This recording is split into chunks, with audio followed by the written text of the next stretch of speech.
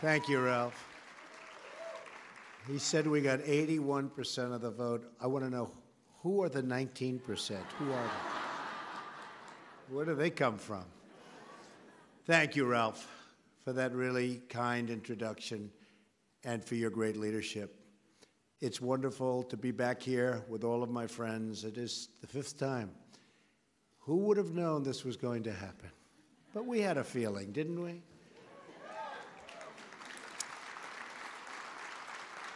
And Ralph, I want to congratulate you and your wife, Joanne, and each and every person in the audience today. In just a few years, you've helped turn a small organization into a really nationwide, beautiful movement. True, so true. And what you have achieved is extraordinary. I've spoken to this group so much, so often. I'll be back most recently, one year ago this week, when I came here to ask for your support, your help, and your prayers. And wow, did you deliver!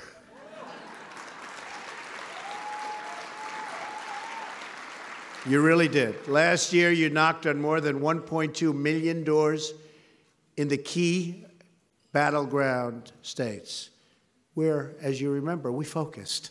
Supposed to be focusing on those states. You sent 22 million pieces of mail, shared 16 million videos, and made 10 million phone calls. That's something. And I'm honored by your incredible support and grateful for your commitment to our shared cause. Thank you for all that you do. Thank you very much. Thank you. You didn't let me down, and I will never, ever let you down. You know that. We will always support our evangelical community and defend your right and the right of all Americans to follow and to live by the teachings of their faith. And as you know, we're under siege. You understand that but we will come out bigger and better and stronger than ever. You watch. You fought hard for me, and now I'm fighting hard for all of you. I have one goal as president to fight for the American people and to fight for America and America first.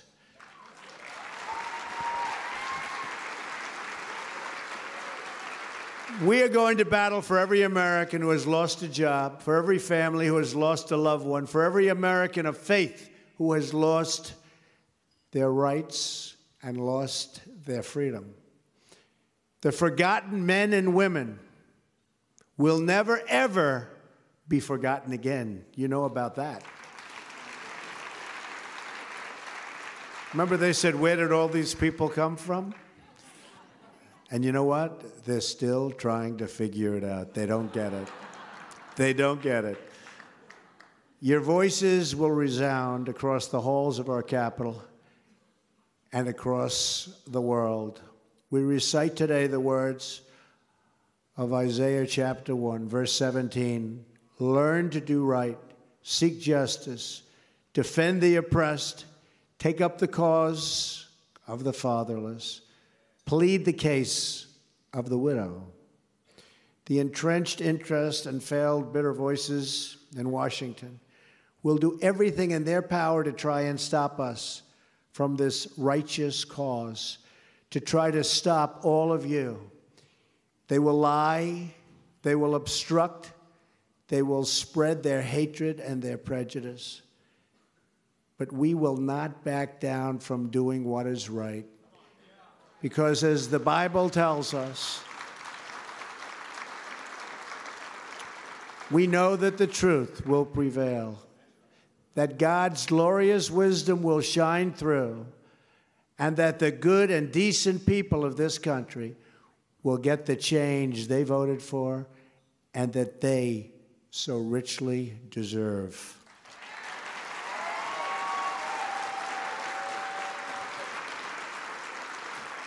Nothing worth doing ever came easy, but we know how to fight better than anybody, and we never, ever would give up, and we don't give up. We are winners, and we are going to fight and win and have an unbelievable future. Unbelievable future, and it's going to be together. We are keeping the solemn promises that we made to the great citizens of our country. We are eliminating job killing regulations, reversing government overreach, and returning power back to everyday Americans, the way the country started. In just a short period of time, we've already added nearly 1 million new jobs and approved historic increases in military spending. We've achieved a record reduction in illegal immigration. Did you see at the southern border? 75%. 75%. If they do 1% in the past, it used to be, oh, we're doing so well. 75%. General Kelly is doing a great job. And we are protecting our families, schools, and cities by removing the gang members MS-13. MS-13. We're spreading them out. The drug dealers and criminals from our country and cracking down on the sanctuary cities that protect them. And we believe that people who come to our country should love our citizens and embrace our values, our values, folks. In my first 100 days, and I don't think anybody has ever done more, or certainly not much more, I appointed and confirmed a Supreme Court justice in the mold of the late, great Antonin Scalia. And now, Justice Gorsuch has a seat on the United States Supreme Court. Made a promise. We have also proposed a historic tax cut, biggest in the history of our country, by the way. And we are fighting for fair trade that creates a level playing field for all of our American companies and our American workers. We are not on a fair playing field, but it's getting fairer by the day. We are bringing back our jobs.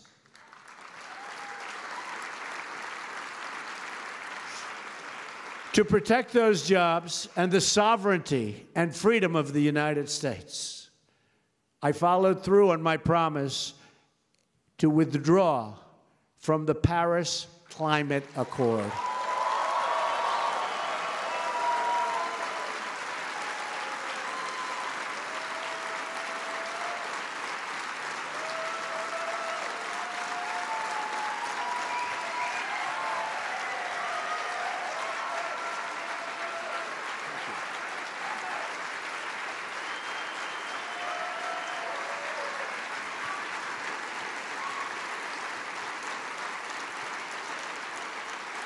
Thank you. You understand it.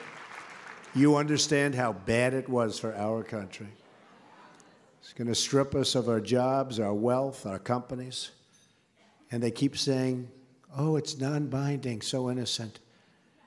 I figure between that deal, the Iran deal, NAFTA, we've got some beauties, don't we?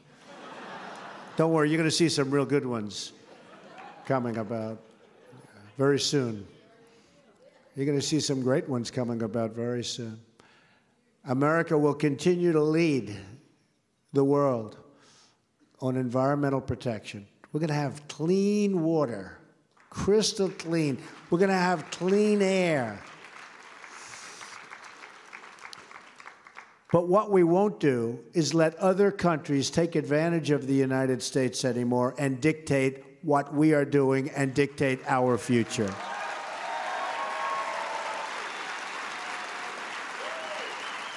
From now on, we will follow a very simple rule. Every day I am president, we are going to make America first, not somebody else, not some other country. We are going to make America first.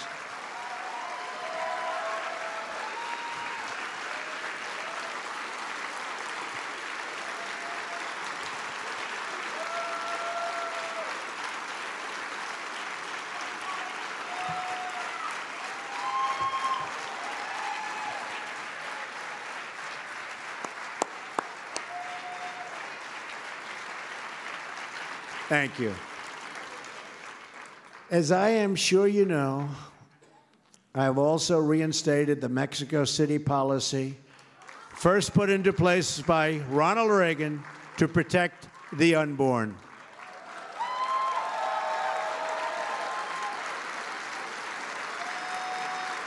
Thank you.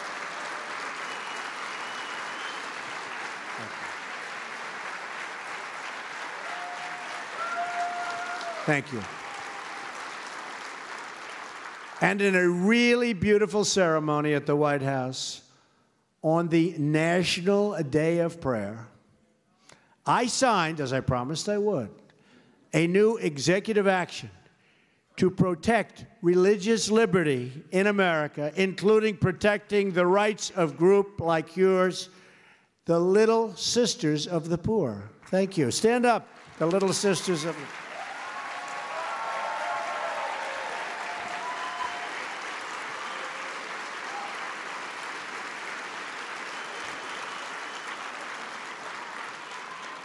They fought so hard for so many years, all of a sudden they heard we won. right? They were doing, uh, they were tough. Don't want to mess with the little sisters, right? they hung in. They had a lot of losses. They sustained a lot of losses, but all of a sudden, one day, a few weeks ago, it was over. They won. So, congratulations. Great toughness. Great. Great people. That executive order also followed through on one of my campaign promises to so many of you to stop the Johnson Amendment from interfering with your First Amendment rights.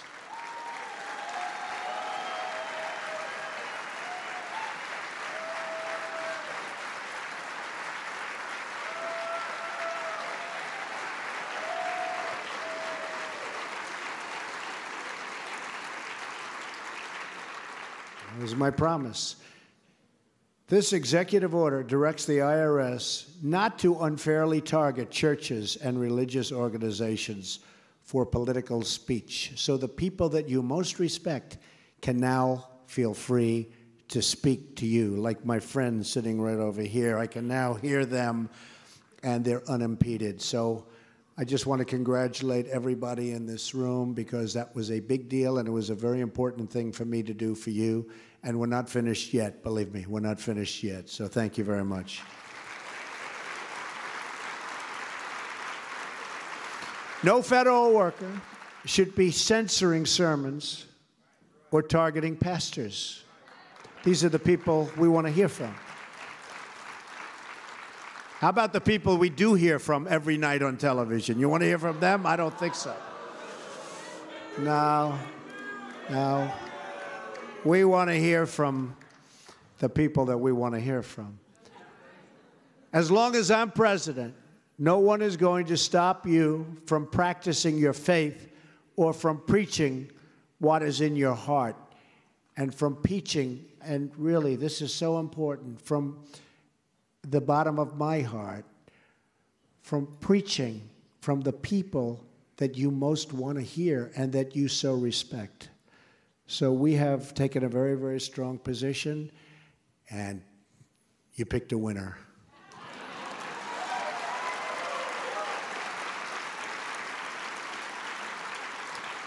So we want our pastors speaking out.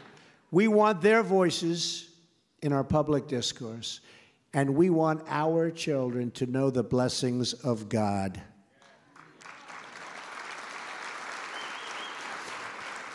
Schools should not be a place that drive out faith and religion. but that should welcome faith and religion with wide open, beautiful arms. Faith inspires us to be better, to be stronger, to be more caring and giving, and more determined to act in selfless and courageous defense of what is good and what is right. It is time to put a stop to the attacks on religion.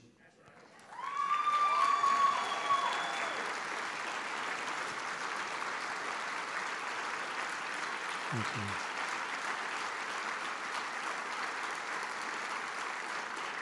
Thank you. We will end the discrimination against people of faith. Our government will once again celebrate and protect religious freedom. Restoring freedom and opportunity also means repealing and replacing the disaster known as. That was easy. Do you see how it's failing?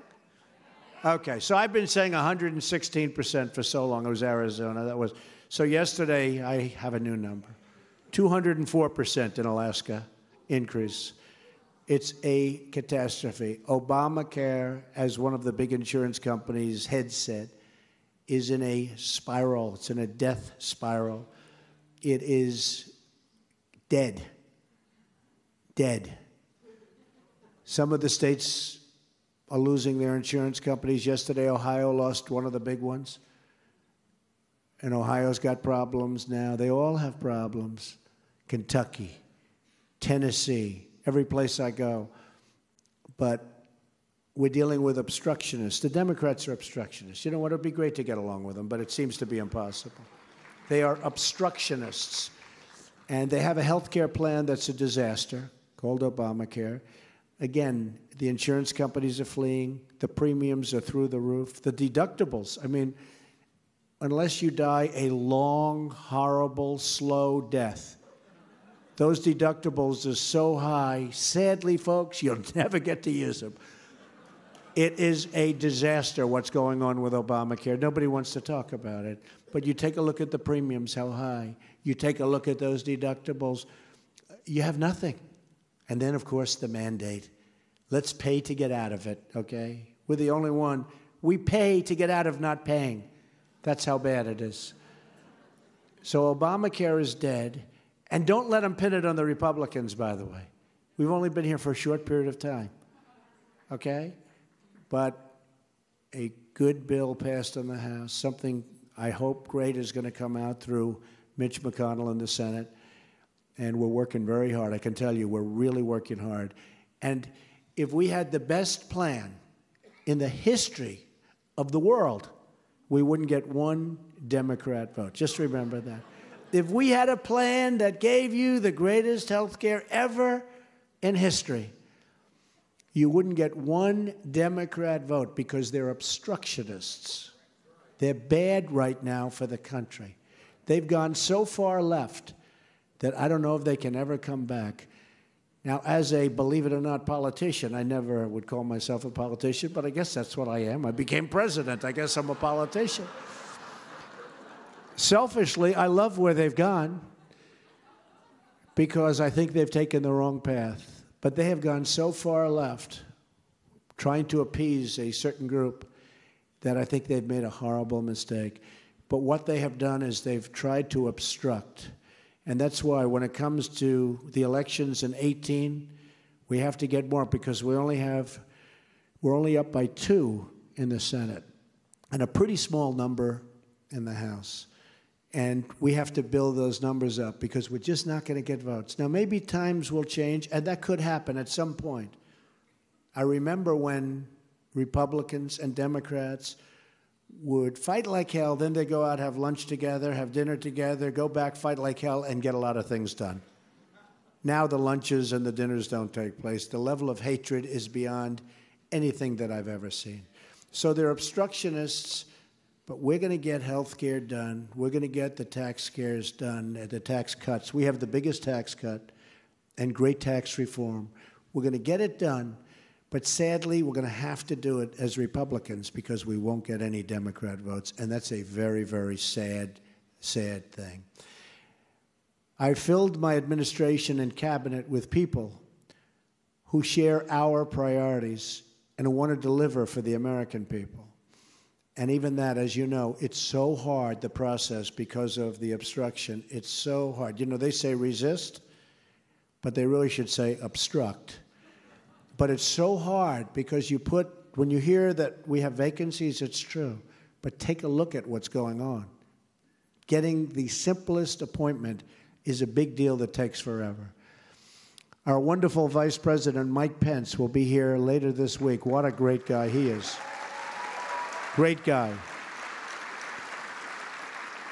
When Dr. James Dobson, stand up, James, stand up, James.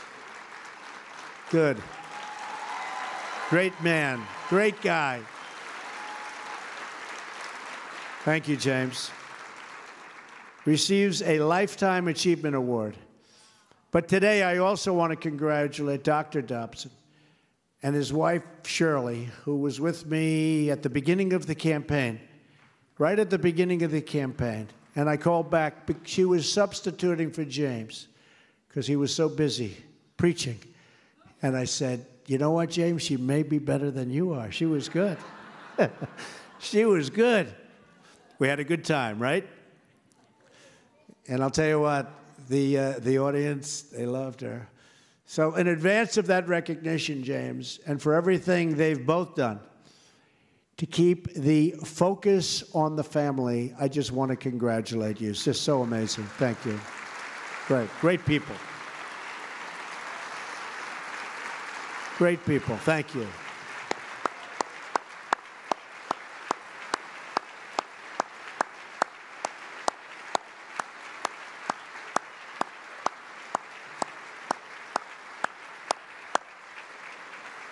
Thank you. Thanks, Shirley. Thanks, James. Family is the foundation of American life, and we are proud to stand together with all of you to promote and protect family values. We're here today to celebrate two values that have always been linked together, and where Ralph, frankly, has done such a great job in linking them faith and freedom. They're linked together because liberty comes from our Creator. Our rights are given to us by a divine authority, and no earthly force can ever take those rights away.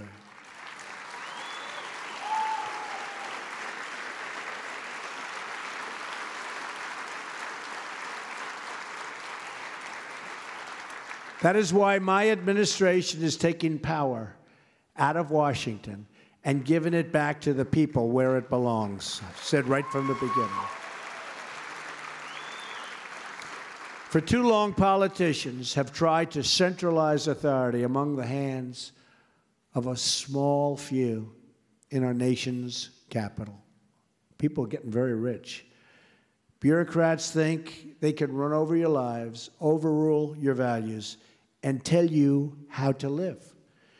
But we know that families and churches, not government officials, know best how to create a strong and loving community. We know that parents, not bureaucrats, know best how to raise children and create a thriving society.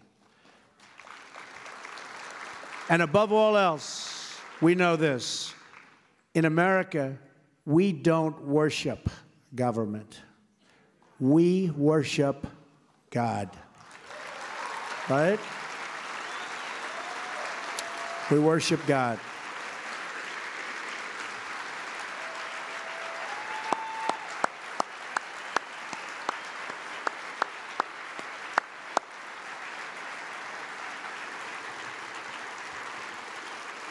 Thank you. Our religious liberty is enshrined in the very first amendment in the Bill of Rights.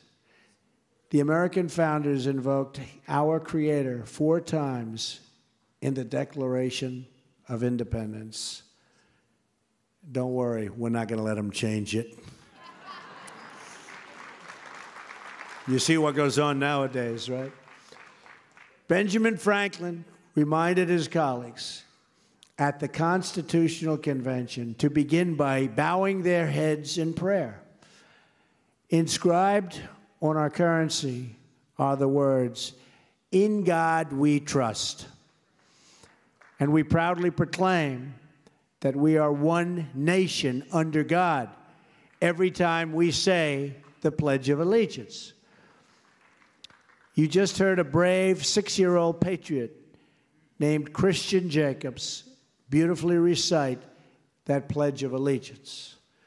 I first met Christian last week after the Memorial Day ceremony at Arlington National Cemetery, where we honor and remember the American patriots who made the ultimate sacrifice for our freedom.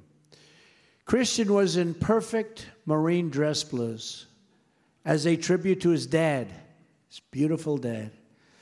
And he walked right up to me in a big crowd of people. And without hesitation, he asked if I would like to come see where his daddy is resting. Next, he led me over to where Marine Sergeant Christopher Jacobs lies among his brothers and sisters in arms in Section 60 and showed me pictures of his fallen father, who is so great and so important to him. Not only does young Christian carry those photos, but he carries his father's love in his heart and his courage in his beautiful, beaming young face. With his mom, Brittany, by his side, terrific mother. I said, Is your mother good or is she great? He said, She's great. I said, You better say that. he looked me square in the eyes and gave me a firm handshake. That six year old stood strong and tall and proud in front of the commander in chief, just as I am sure his dad would have wanted him to be. He's extraordinary. Christian's father.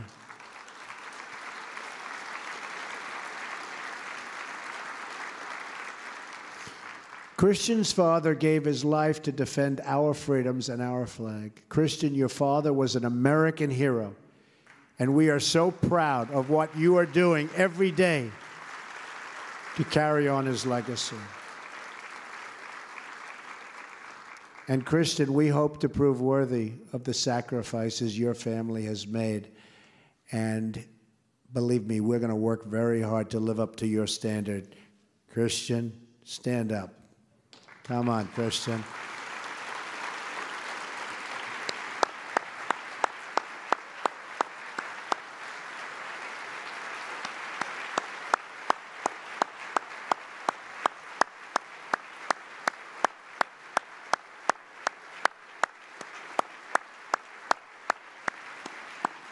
Thanks, Christian. Good job. Good job. Special guy. Every day, our brave men and women in uniform are risking their lives to keep this country safe from murderous groups like ISIS, Al Qaeda, and so many more. We must confront this evil that plagues humanity and eradicate it from our planet.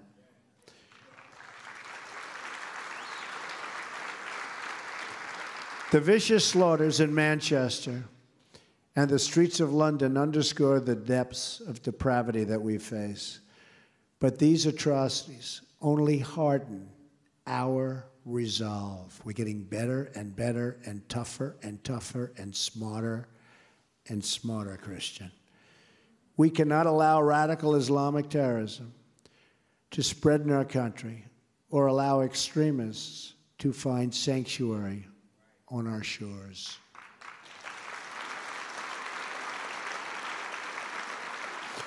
We will protect our country.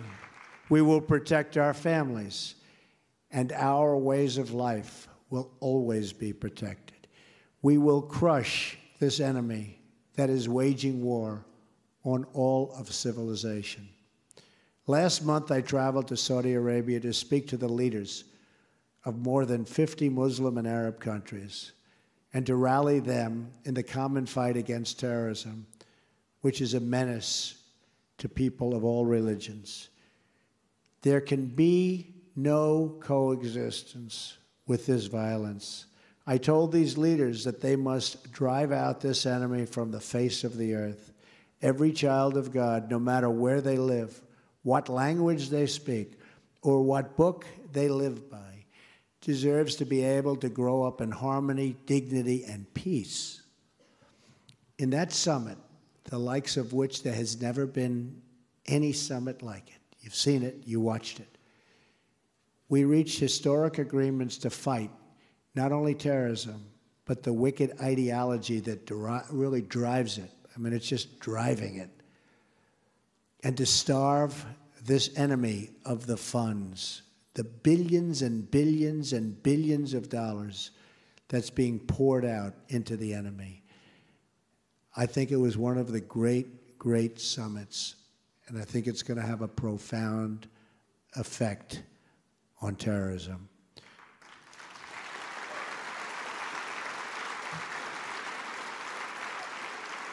Finally, because my administration is deeply committed to the right of religious believers everywhere to be free from persecution, I called on these leaders to protect Muslims and Christians and Jews and people of all faiths. Because you know what's going on there, and it's horrible, horrible. Terrorism a threat, and it is a big threat, to religious liberty around the world, and all responsible nations must protect the right of people to live and worship according to their conscience.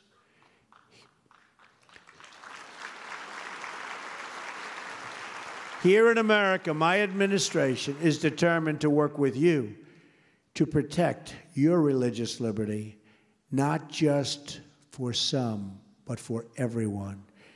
Together, we can crush the horrors of terrorism. We can usher in a new era of faith, family, and freedom. Because we understand that a nation is more than just a geography. A nation is the sum of its citizens, their hopes, their dreams, their values, and their prayers.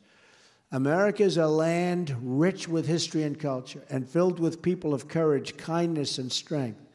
And though we have many stories that we all share at home, the one thing we do share is one beautiful destiny.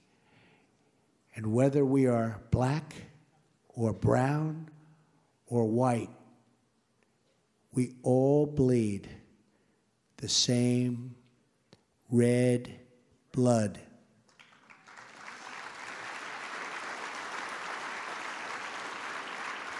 We all salute the same great American flag.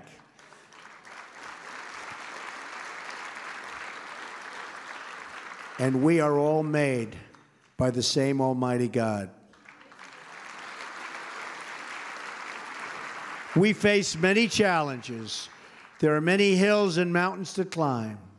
But one by one, we will scale those summits and we will get the job done and get the job done correctly. We will prove worthy of this very, very important moment in history. As long as we have pride in our beliefs, courage in our convictions, and faith in our God, then we will not fail.